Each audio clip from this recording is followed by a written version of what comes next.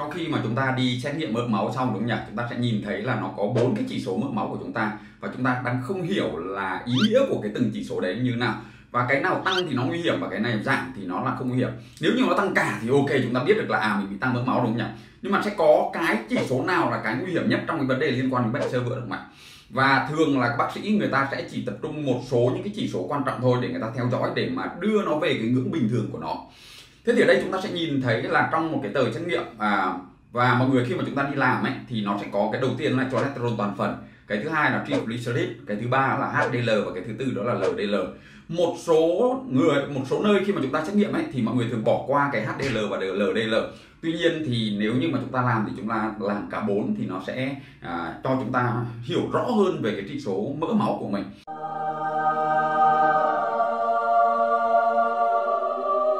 Thế thì bốn cái chỉ số đấy nó là như nào? Cái đầu tiên là chúng ta nói về HDL thì nó sẽ là dễ dàng nhất cho chúng ta. HDL nó được xem là cái mỡ máu tốt, tức là sao? Tức là khi mà cái cái cái mỡ máu tăng ấy, thì cái nguy cơ nó làm cho cái việc mà bị sơ vữa động mạch tức là cái cholesterol nó lắng đọng ở trong cái thành động mạch và dẫn đến tình trạng là sơ vữa thế thì cái HDL nó có tác dụng là đi dọn sạch cái thành động mạch đấy đi từ một ông là là làm cho nó bị tăng cái lắng động thì cái HDL nó lại đi dọn sạch ở đây nó làm cho giảm cái lắng động đấy. Thì cái HDL nó là cái cholesterol tốt của chúng ta rồi thì thường là chúng ta à, cứ HDL tăng thì là càng tốt của chúng ta. Chúng ta sẽ có một cái thứ hai nữa là gì? Đó là cái LDL LDL ở đây là gọi là cái cholesterol xấu. Cholesterol xấu tức là cái LDL là cái chính dẫn đến cái việc mà tăng cái nguy cơ của cái mạng sơ vữa mạch của chúng ta. Và nếu như mà trong bốn cái chỉ số này ấy mà LDL tăng là nguy hiểm nhất. Nếu như mà chẳng hạn như trong bốn cái này thì có thể là là nếu như chỉ một chỉ số tăng thôi mà nó rơi vào đúng đúng LDL thì thường nó sẽ là nguy hiểm nhất. Và các bác sĩ khi mà người ta điều trị ấy, thì người ta sẽ nhìn vào cái chỉ số LDL này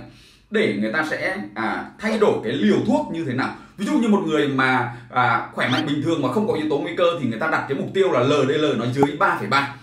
nếu như một người mà có yếu tố mà nguy cơ cao tức là tầm khoảng cỡ trên 40 tuổi trên 50 tuổi thì cái LDL nó lại là dưới 2,6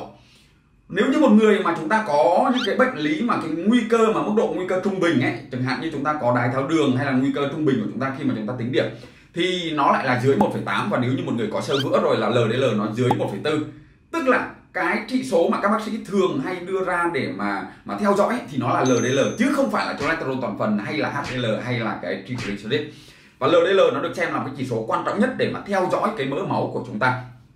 Ở đây chúng ta sẽ còn thêm một cái chỉ số nữa là chỉ số triglyceride. Thế thì cái triglyceride này thì nó sẽ là à chúng ta sẽ quay lại à, một chút nữa cái chỗ LDL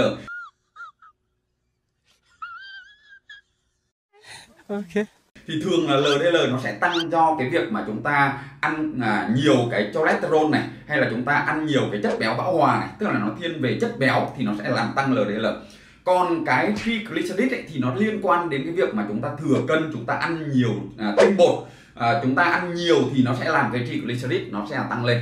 Thì thường cái triglycerid ấy, khi mà nó tăng ấy, thì nó cũng có nguy cơ làm tăng cái nguy cơ của cái sơ vữa mạch nhưng nó không nguy hiểm bằng cái LDL tăng. Mọi người hình dung cái chỗ này nên là nếu như mà chúng ta xét nghiệm mà chúng ta chỉ thấy LDL à cái triglycerid nó tăng hơn một chút thôi thì chúng ta cũng không quá lo lắng. Nếu như mà LDL mà nó nó nó thấp thì cái triglycerid mà nó tăng một chút rồi là chúng ta cũng chưa cần phải à, phải phải lo lắng quá. Nhưng mà nếu như mà triglycerid mà nó bình thường mà cái LDL mà nó sẽ tăng cao lên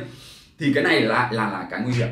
Thế thì đối với cái triglycerid này thì nếu như mà nó tăng lên à, cái ngưỡng tăng của nó bình thường ấy thì có nguy cơ nó cũng sẽ làm tăng cái vấn đề liên quan cái sơ vữa của cái mạch nhưng mà nguy cơ nó sẽ ít hơn so với cái LDL tuy nhiên thì nếu như mà nó tăng cao quá, thì khi mà nó tăng cao quá thì nó sẽ dẫn đến một cái nguy cơ là cái nguy cơ về viêm tụy cấp. Thì cái này lại là một cái nguy cơ khác nữa mà người ta thường phải điều trị để giảm cho cái cái mức mà nó nó cao cao vượt ngưỡng đấy đi. Thì đấy là đối với cái triglycerid còn đối với cái trị số mà cholesterol toàn phần ấy, thì chúng ta sẽ hình dung là thường là cholesterol toàn phần nó sẽ bằng HDL cộng với LDL nên là cái xu hướng mà nếu như mà LDL tăng ấy, thì cholesterol toàn phần nó cũng sẽ tăng theo nhưng mà HDL tăng ấy, thì cholesterol toàn phần nó cũng sẽ là tăng theo. Thế thì ở đây thì thường cái chỉ số cholesterol toàn phần thì nó sẽ không có ý nghĩa quá nhiều. Tức là nó vẫn là có ý nghĩa nhưng nó không có ý nghĩa quá nhiều so với những chỉ số còn lại. Bởi vì nếu như mà cái HDL tức là cái cholesterol tốt mà nó tăng mà cái LDL nó không tăng thì có phải là cái cholesterol toàn phần nó cũng tăng đúng không nhỉ? Và với cái trường hợp đấy tăng thì nó lại không là nguy hiểm thế thì ở đây một là chúng ta khi mà nó tăng trừ trường hợp mà nó tăng cao quá ngưỡng thì lúc này người ta sẽ bắt đầu người ta sẽ lấy cái cholesterol toàn phần trừ đi cái HDL HDL là cái tốt nha. Chúng ta sẽ để ý là gì? Đó là cholesterol toàn phần nó sẽ bằng HDL cộng với LDL Tuy nhiên thì khi mà chúng ta thấy là HDL cộng với LDL ấy thì khi mà chúng ta cộng lại ấy, thì nó vẫn thấp hơn so với cái cholesterol toàn phần. Bởi vì nó sẽ còn thêm một chỉ số nữa mà người ta không đưa vào người ta người ta tính. Ví dụ như là VLDL chẳng hạn thì có thể là người ta nếu như mà nó tăng vượt cao quá chẳng hạn thì người ta mới lấy cái cholesterol toàn phần trừ đi cái HDL thì nếu như mà nó trên 3,3 thì lúc này mới là nguy cơ. Tức là ở đây chúng ta sẽ thấy là có rất là nhiều những cái trị số trách nhiệm đúng không nhỉ? Nhưng mà cái mà ừ, người ta thường nhìn vào nhất đó là cái LDL và đây chính là cái mấu chốt mà chúng ta cần kiểm soát nó. Thì nếu như mọi người mà chúng ta chưa hiểu rõ nó lắm ấy, thì khi mà chúng ta nhìn cái LDL hoặc là chúng ta sẽ vào trong cái bảng để mà chúng ta tính cái yếu tố nguy cơ thì đấy là cái mà dễ nhất cho mọi người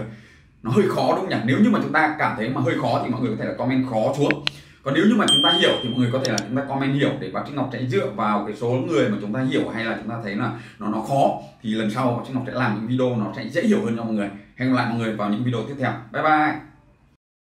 Chúc mừng các bạn đã xem hết video của Dr. Ngọc ngày hôm nay. Để tránh bỏ lỡ các video tiếp theo của Dr. Ngọc, các bạn có thể đăng ký kênh Dr. Ngọc vào hình tròn chính giữa. Các bạn cũng có thể là xem các video của Dr. Ngọc ở phía bên trái cũng như là các video ở phía bên phải. Hẹn gặp lại các bạn.